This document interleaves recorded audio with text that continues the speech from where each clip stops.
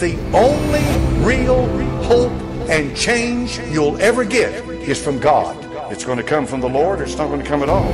It's going to come when you admit that you can't do it and that you've got to have His help.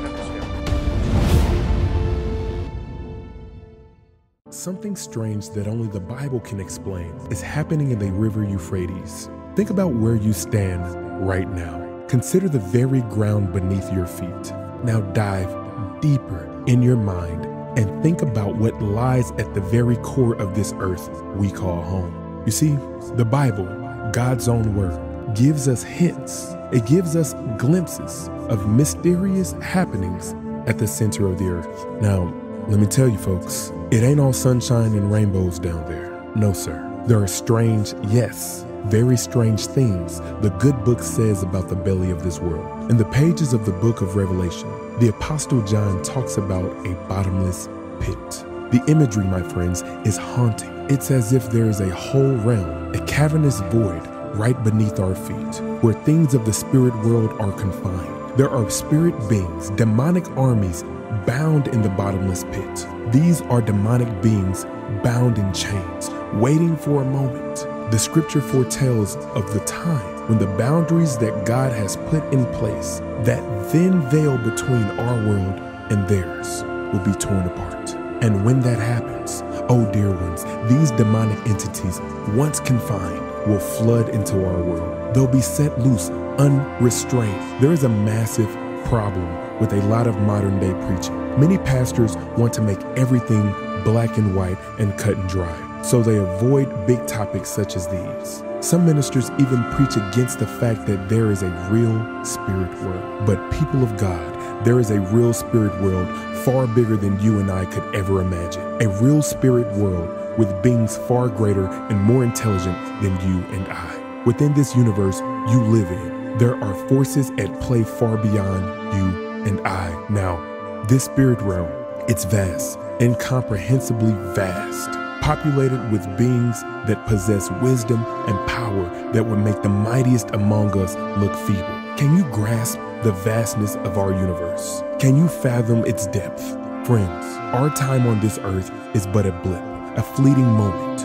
Most of us will barely touch 100 years on this earth. What is 100 years in the timeline of eternity? We think we know so much, but in reality, our knowledge is limited. Consider this we've explored less than 5% of our own oceans. Less than 5%. Yes, you heard that correct. Less than 5%. The vast, deep blue sea on our planet remains a mystery. And when you gaze up at the sky, ponder on this. Humanity has only set foot on Earth and our moon. That's not even a fraction of the vast expanse of space. Only Earth and the moon have been visited by humans, so less than 0.1% of space has been explored. If we know so little about our physical world, how much more mysterious is the spirit realm, a realm that transcends our tangible reality? There are things in the scriptures, deep things, things that make you scratch your head especially when it talks about the depths of this earth. We might think we've achieved the pinnacle of understanding, but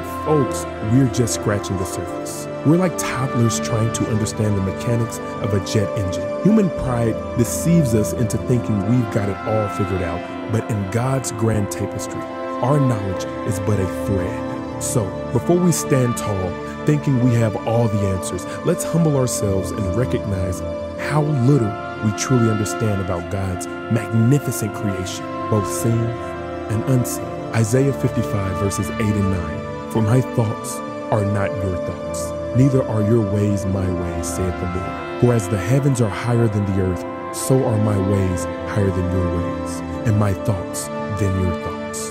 The spirit world, ladies and gentlemen, is far bigger than the human mind. Far, far bigger than the human mind. And this Bible this Bible tells us that there is a real spirit world. We need to stop attempting to simplify things for the human mind. The Bible tells us there are some strange things under our feet. Revelations 9, verses 1 through 3. And the fifth angel sounded, and I saw a star fell from heaven onto earth. And to him was given the key of the bottomless pit. And he opened the bottomless pit, and there arose a smoke out of the pit and the smoke of a great furnace. and the sun and the air were darkened by reason of the smoke of the pit. And there came out of the smoke locusts upon the earth, and unto them was given power, as the scorpions of the earth have power. However, we are not going to focus on the bottomless pit today and the great army that comes forth from the bottomless pit. We're going to focus on the river Euphrates. Revelation 9, verses 13 through 15. Then the sixth angel sounded, and I heard a voice from the four horns of the golden altar, which is before God, saying to the sixth angel who had the trumpet, Release the four angels who are bound at the great river Euphrates. So the four angels who had been prepared for the hour and day and month and year were released to kill a third of mankind. The release of the four angels at the great river Euphrates marks a turning point in the book of Revelations. The first four trumpets were a warning, a call to repentance, and an invitation to turn to God. But the fifth and sixth trumpets were more severe and their judgments are directed specifically against those who refuse to repent. In the first woe, mankind is not killed, but rather tormented by demonic locusts and their leader, Apollyon, the destroyer. No one dies during this time. However, during the second woe, a powerful army is unleashed to kill a third of mankind. According to the scriptures, when the sixth trumpet sounds, four angels who had been bound at the great river Euphrates are released.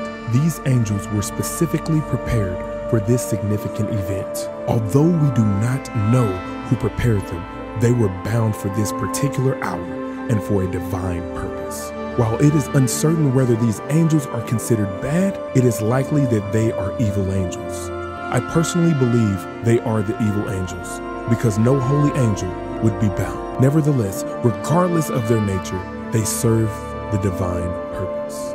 The reason these angels were bound specifically at the river Euphrates and not any other river is not explicitly stated in the scriptures. However, the Euphrates River holds significant symbolism throughout the Bible. It is associated with several significant events and places. In Genesis 2, verses 10 through 14, it is linked to the first sin and the location of the Garden of Eden. In Genesis 4, verse 16, it is connected to the first murder. The river is also mentioned in Genesis 14, verse 1, where it is associated with the first war confederation, and in Genesis 10, verses 8 through 10, where it is linked with the first dictatorship. Additionally, the river Euphrates holds significance as a landmark of Babylon. Babylon represents human pride, rebellion, and idolatry. It was the first great empire that persecuted God's people. The river also served as a crucial military asset, providing protection to the city of Babylon from invasion. While the exact reason for binding the angels at the Euphrates is not explicitly explained, these associations highlight the historical and symbolic importance of the river in relation to rebellion, sin, and the opposition faced by God's people throughout biblical history. Revelations 9, verses 16 through 19. Now, the number of the army of the horsemen was 200 million. I heard the number of them, and thus I saw the horses in the vision. Those who sat on them had breastplates of fiery red, hyacinth blue, and sulfur yellow. And the heads of the horses were like the heads of lions.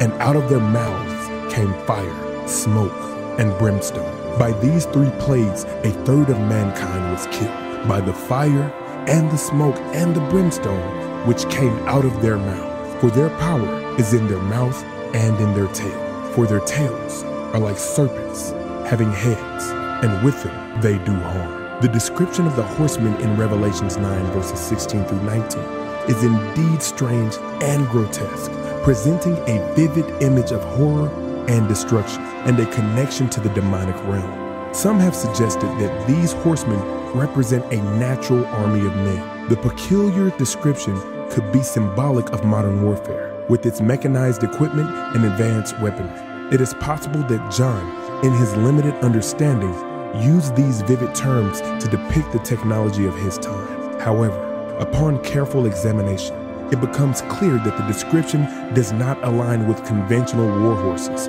or modern military equipment like fighter jets or tanks. The imagery goes beyond what can be attributed to human technology. Therefore, a safer interpretation may be to understand this is a literal army of 200 million, but not composed of human beings from a specific nation. Instead, it signifies a demonic army invading the earth held in bondage by the Lord until the appointed time when God grants them permission to unleash their destructive power. As I stated at the start of this sermon, there are some strange things under the earth. This interpretation aligns with the earlier description of the demonic locusts in the same chapter. The idea of a demonic army fits within the overall context of Revelation and the spiritual warfare depicted throughout the book. It emphasizes the forces of evil being unleashed upon the world during the end times, working in accordance with God's divine plan, and strange demonic spirits coming up onto the earth. Revelation chapter 9, verses 20 through 21. But the rest of mankind, who were not killed by these plagues, did not repent of the works of their hands, that they should not worship demons and idols of gold, silver, brass, stone, and wood which can neither see, nor hear, nor walk. And they did not repent of their murders, or their sorceries, or their sexual immorality, or their thefts.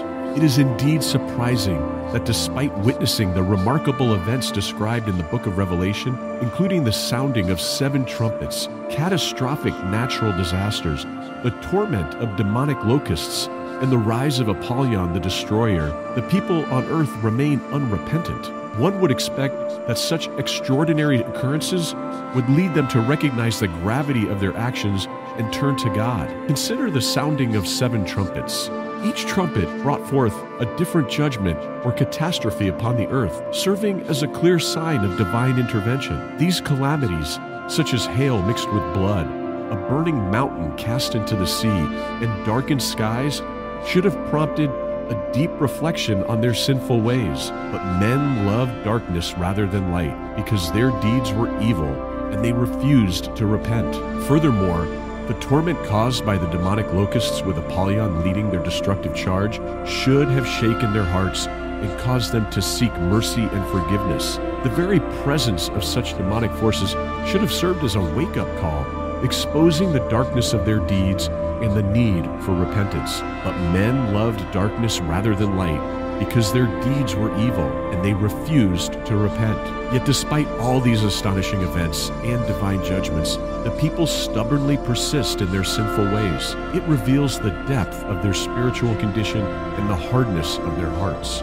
Even when faced with God's righteous judgment, they remain unyielding, clinging to their sinful lifestyles. In the book of Revelation, there is a striking depiction of people who would rather seek death than repent. In Revelation chapter 6 verse 16, it is written that they recognized the judgment of God unfolding before their eyes. They were aware of the magnitude of his power and authority to the point that they longed for mountains to fall on them, seeking escape from the impending judgment. This portrayal reveals the depth of their hardness of heart and stubborn rebellion. Despite witnessing the undeniable truth of God's existence and his righteous judgment, they chose to resist repentance.